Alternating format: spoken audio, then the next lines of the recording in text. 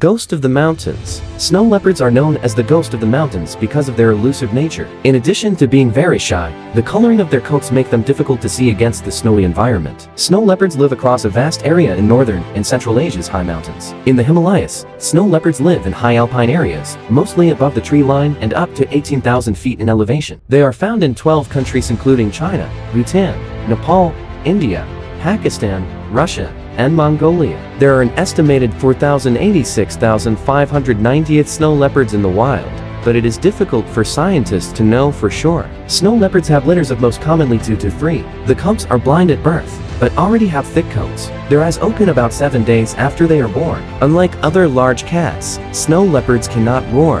They can mew, growl, yowl, and prusten. Snow leopards play a key role as both top predator and as an indicator of the health of their high-altitude habitat. If snow leopards thrive, so will countless other species.